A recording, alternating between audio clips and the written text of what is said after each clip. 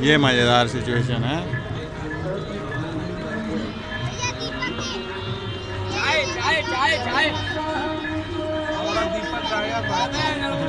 मिल रहा है यहाँ हाँ? दीपक। दीपक। नहीं हम नहीं।